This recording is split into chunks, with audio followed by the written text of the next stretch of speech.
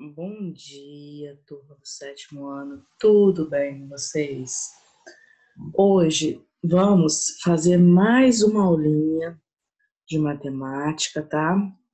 Hoje iremos entrar na unidade 3 do nosso livro, que está na página 76 aí, tá?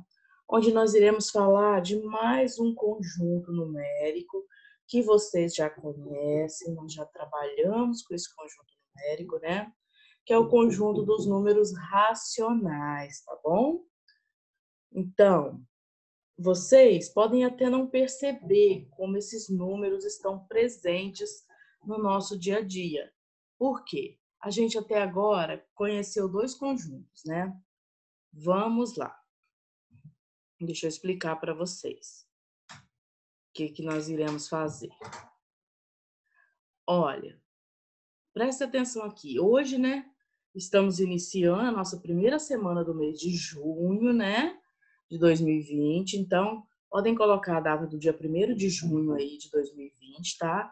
onde nós estamos fazendo a nossa quinta aula do segundo bimestre, tá? Então, estamos entrando na unidade 3 do livro, página 76, ok? Onde nós vamos trabalhar os números racionais. Isso aqui eu quero que vocês anotem no caderno, bonitinho, tá?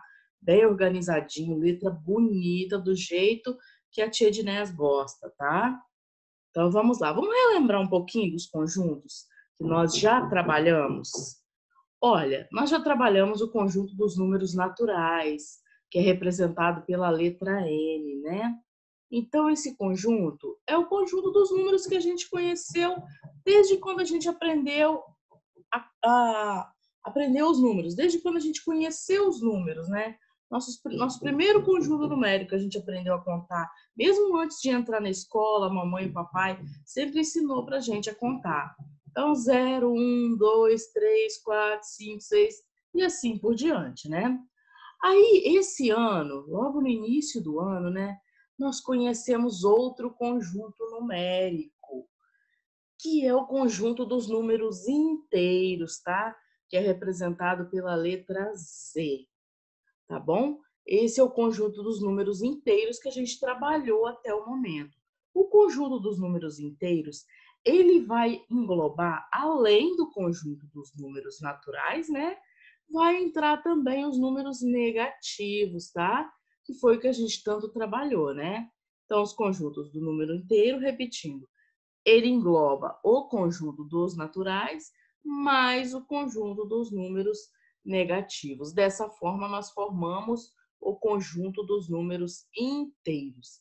E agora, não é o conjunto dos números racionais que nós queremos estudar? Então vamos lá para ele. O conjunto dos números racionais, gente, ele vai englobar os dois aqui anteriores, ó, tanto natural quanto inteiro, mas além disso vai entrar também número com vírgula, ó, é, por exemplo, 5,3, 2,5, vai entrar fração, vai entrar dízima periódica, que eu vou explicar logo adiante também o que, que é, certo? Então, vai entrar agora esses números quebradinhos, tá? Se acostumem com isso, que vocês vão ver muito esses números quebradinhos. A gente, quando vai comprar alguma coisa, não tem sempre é, tantos reais e alguns centavos. Não tem sempre essas moedas, esses quebradinhos. Na hora de representar isso, a gente representa como? Por exemplo, eu quero representar 15 reais e 25 centavos. Então, eu vou representar 15,25 25, né? Porque esses 25 centavos são os quebradinhos, tá? Significa que o número não está inteiro, tá bom? Até agora a gente estava trabalhando o conjunto dos inteiros, ou seja, números inteiros. Agora a gente entra nos números racionais. Então vai entrar tanto o natural quanto o negativo e o positivo, né? Que, que o, os inteiros aqui ele engloba os naturais e os racionais englobam os dois. Daqui a pouco eu vou mostrar o diagrama para vocês, vocês irão entender melhor, tá? Então vamos lá, ó. Depois que eu expliquei isso aqui, vem isso aqui que eu quero que vocês anotem. Todo número natural é também um número racional. Ó, todo número natural é também um número racional. Por quê? os números naturais, eles estão aqui dentro do conjunto dos números racionais, tá? Certo? Então, outra afirmação, ó. Todo número inteiro é também um número racional. Porque os números inteiros, né, que é a mistura desse com os negativos, vão estar aqui dentro também, ó. Tem o número negativo, tem o número natural e tem o número com fração, tem o número com vírgula, que são os, o conjunto dos números racionais, certo? Vamos para a próxima página. Vamos lá. Então, agora mostrando direitinho aqui no diagrama, ó. Os números naturais estão aqui, aí vem o conjunto dos números inteiros e abraça eles, ou seja, o conjunto dos números naturais está contido dentro do conjunto dos números inteiros, tá? E depois vem os números racionais que abraça todos eles. Ou seja, os números racionais, ele engloba todos os outros dois conjuntos, tá bom? Então, tanto os naturais quanto os, os inteiros estarão dentro do, do conjunto dos números racionais. Vamos lá agora entender na reta numérica aonde ficam esses números quebradinhos. Onde ficam esses números com vírgula, essas frações? Olha aqui, eu tenho a minha reta numérica, certo? Então, eu, eu englobei, coloquei aqui na minha reta numérica números negativos e números positivos, né? Ou seja, eu tenho o conjunto aqui dos números inteiros na minha reta numérica, ó. Menos 2, menos 1, 0, 1, 2, 3. Só vocês sabiam que entre dois números inteiros existem infinitos outros números? Existem, existem os números quebradinhos que eu estou dizendo para vocês. Então, ó, entre o 0 e o 1, eu posso ter 0,5. Aqui bem pertinho, vou ter 0,1, 0,2, 0,3, 0,4, 0,5, 0,6, 0,7, 0,8, 0,9 e 1. Mas entre esse 0,8 e 0,9 eu tenho mais número. 0,81, 0,82, 0,83. Então, entre dois números dois números inteiros, existem infinitos números racionais, tá bom? Certo? Então, os números racionais, eles estão localizados aqui, ó entre dois números inteiros, tá? Vamos lá, ó. exemplo, exemplo de número racional. Isso aqui, ó, é um número racional, certo? Ele está escrito na forma fracionária dele, certo? Então, 75 sobre 4. Então, está escrito na forma fracionária, ou seja, na forma de fração. Eu quero escrever ele na forma decimal, ou seja, o número com os quebradinhos. Então, eu vou pegar 75 e dividir por 4. Por quê? Toda fração também é uma divisão, tá? Crianças, desculpa se o barulho tá incomodando. É obra, né? Obra aí do lado aí é complicado. Mas a gente vai tentando seguir, tá bom? Qualquer dúvida, depois entre em contato comigo, tá? Na hora de fazer os exercícios, eu vou estar ajudando vocês, tá bom? Não tem problema nenhum de dizer, tia, não entendi a questão tal, me ajuda. Eu vou ajudar vocês, tá bom? Sem problema nenhum. Então vamos lá. Só lembrando que não estamos de férias, né? Nem nós, professores, estamos de férias, nem vocês, alunos, estão de férias, tá bom? Então nós estamos todos aqui na luta, estamos trabalhando para que o nosso ano letivo seja válido. Vamos lá. Então, vou dividir 75 por 4. Então, primeiro eu vou pegar o 7 aqui, né? Então, 1 vezes 4, 4. Então, 7 tira 4, fica 3. O 3 não dá para dividir por 4. O que, é que eu fiz? Abaixei o 5. Então, ficou 35 para ser dividido por 4. 4 vezes quanto vai chegar próximo de 35 ou vai dar 35? Ó, 4 vezes 8 que dá 32. 35 tira 32, ficou 3, certo? O 3 é menor do que 4, então não dá para dividir e eu não tenho mais número para baixar. O que, que eu faço?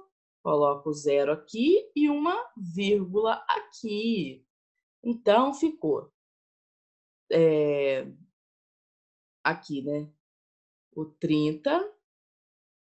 Aí, qual é o número que multiplicado por 4 vai chegar perto de 30? É o 7, né? 4 vezes 7, 28.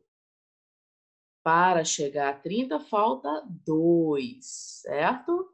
Aí, como 2 é menor do que 4, eu acrescento novamente um zero aqui, mas não preciso colocar mais vírgula, né? Que eu já coloquei uma vez. Então, 4 vezes 5, 20. Para 20, falta nada. Então, a forma decimal dessa fração aqui, ó, 75 sobre 4, é 18,75. Ok, meus queridos, entendido? Vamos para a próxima? Então, vamos lá. Agora, nós vamos entender o número 3. Vamos trabalhar um pouquinho com o número 3, ó. O número 3, ele pode ser representado de diversas formas. Como 3 puro, né? É um número racional. 3 dividido por 1, que é 3, certo? 6 dividido por 2, que também é 3. 9 dividido por 3, que também é 3. E assim por diante, né? 12 dividido por 4, que também é 3, certo? Então, tudo isso aí pode ser uma representação do número 3. Ele só vai estar escrito na forma fracionária, tá, gente? Mas vai ser o número 3, tá bom? Lembrando que toda fração é uma divisão, né? O número menos 5, vamos lá. Número menos 5, ele pode ser representado como é, menos 5 sobre 1, 5 dividido por 1 que dá 5, né? menos 10 sobre 2, que 10 dividido por 2 dá 5, menos 15 sobre 3, que 15 dividido por 3 também dá 5, certo? Agora vamos para o número é, menos 1,5. O número menos 1,5, ele pode ser representado de diversas formas, ó. Menos 15 sobre 10, que vai dar 1,5 menos 45 sobre 30, que se eu dividir também vai dar 1,5, menos 2 sobre 3, menos 3 sobre 2, desculpa, que também vai dar 1,5, certo? Entendido? Como que pode ser a representação de um número racional? O mesmo número racional pode estar representado de diversas formas diferentes, tá bom? Vamos para o número agora 5 nonos. Vamos lá. Eu tenho esse número aqui 5 nonos. Eu vou dividir 5 por 9 para ver o que que dá. Ó, 5 não dá para dividir por 9, então o que que eu faço? Acrescento um zero aqui, né? Aí coloco um zero e uma vírgula aqui no meu resultado, ó. Então, 50 dividido por 9, qual é o número que multiplicado por 9 vai chegar perto de 50? Ou vai dar 50? É o 5, né, gente? 5 vezes 9, 45, certo? Para chegar a 50, falta 5. Então,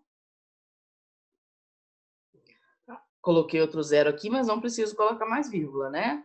Então, 5 vezes 9 de novo, 45. Para chegar a 50, falta 5. Acrescentei o zero de novo. 5 vezes 9, 45. Para chegar a 50 de novo, falta 5. Olha o que, que aconteceu. Isso aqui vai se repetir a vida toda. Vai ser infinito, tá? O 5 vai se repetir o tempo todo. Então, quando isso acontece, quando o número, a gente faz uma divisão de um número, ele dá um número decimal, mas esse número não tem fim, ou seja, eu não consigo chegar numa resposta final, igual ali atrás que a gente viu que deu 18,75 e acabou ali, aquilo ali é um número decimal exato, tá? Por quê? Porque a divisão acabou ali. Agora aqui não, ó. Aqui não é decimal exato, aqui é uma dízima periódica. Por que dízima periódica? Porque ela tem um período, ou seja, um número depois da vírgula que vai se repetindo, tá? Eu posso ter também uma divisão que é infinita, que vai dando um monte de número, aquilo nunca tem fim, eu nunca consigo chegar no resultado, mas que não seja dízima periódica. Ou seja, vai ser um número irracional, tá? Mas isso é um conjunto que a gente vai conhecer mais para frente, tá bom? Por enquanto, vamos focar nos racionais. Então, se eu tenho isso aqui, ó, um número que vai repetindo toda a vida e aquele mesmo número vai se repetindo, eu tenho uma dízima periódica e o período dela é o número 5, tá bom? Entendido, gente? A diferença do que é um decimal exato e o que é uma dízima periódica. Ó, por exemplo, se eu dividir 3 por 2, vai dar 1,5. Exato, né? Decimal exato. É um número com vírgula, mas acabou ali. Aqui já não acabou, 5 nonos. Ó, se eu dividir, não vai ter fim. Então, isso aqui é uma dízima periódica, ok? Continuando. Vamos lá. Agora, vocês irão fazer os exercícios para mim da página 82 e 83, tá bom? Vou dar uns exemplos aqui para vocês, ó. Represente os números a seguir na forma fracionária. Por exemplo, 3 dividido por 9. Já é o primeiro exercício do livro aí de vocês, tá? 3 dividido por 9, ou seja, 3 nonos. É a forma fracionária. Pronto, representei. Aqui, ó. Menos 2 dividido por mais 3. Menos 2 terços. Representei na forma fracionária, né? Agora, represente os números também a seguir na forma fracionária. Agora, um pouquinho diferente, ó. Eu tenho menos 0,5. Como que eu vou representar isso, professora, na forma fracionária? Muito simples. Se aqui é zero, eu não tenho que me preocupar com esse zero que está aqui, não. Eu pego só o número 5 que está aqui depois da vírgula, coloco ele em cima, coloco o sinal, né? Lógico que está aqui. Coloco só esse 5 aqui e olho quantas casas eu tenho depois da minha vírgula eu tenho apenas uma casa. Então, eu vou colocar o 10 aqui embaixo. Ó. Então, 5 sobre 10. Porque se eu dividir 5 por 10, eu vou encontrar 0,5. Agora aqui, eu tenho o número 3,3. Repare que agora, ó, não é o zero que está aqui, tá? Como era antes. Então, eu tenho que considerar o que está antes da vírgula também, tá bom? Então, ó, 3,3. Então, 33 aqui, né? A vírgula sumiu. Aí eu olho, quantas casas eu tenho depois da vírgula? Depois da vírgula eu tenho apenas uma casa, ó. Então, 33 dividido por 10. Se eu pegar o 33 e dividir por 10, eu vou encontrar 3,3, tá bom? Agora, ó, 2,25. Então, como não é zero aqui, se fosse só 0,25, eu só colocaria o 25 aqui. Mas como é 2,25, esse 2 aqui tem que ser considerado, tá? Então, ó, 2,25, tirei a vírgula, ficou 225. Aí eu olho, quantas casas eu tenho depois da vírgula? Tenho duas. Ah, então agora não vai ser por 10 mais, né, professora? Isso mesmo. Agora será 100. Qual é o número decimal que tem dois algarismos depois, dois zeros depois, né? Ó, se eu tenho duas casas depois da vírgula, eu vou precisar do 100. Ah, professora, se eu tiver três casas depois da vírgula, então vai ser mil, tá? Entendido? Ó, aqui, como não tinha número antes, só considerei o 5. Uma casa depois da vírgula, 10. Aqui, tinha número antes, ó. Então, eu considerei tudo. 33 é uma casa depois da vírgula, 10. Aqui também, considerei tudo, porque tinha número antes da vírgula. Então, 225, como é duas casas depois da vírgula, 100. Certinho, meus amores? Então, é isso. Agora, vocês irão fazer para mim os exercícios da página 82 e da página 83, certo? Então, é isso. A gente se encontra na nossa próxima aula, tá? Se Deus quiser. E qualquer dúvida, estou à disposição de vocês. Pode entrar em contato comigo, tá bom? Se for na parte da tarde eu não tiver com meu material ali do lado, pode mandar uma foto da questão para mim, que eu vou e vou, vou ajudar vocês, tá bom? Então é isso. Beijos, se cuidem e até a nossa próxima videoaula, se Deus quiser.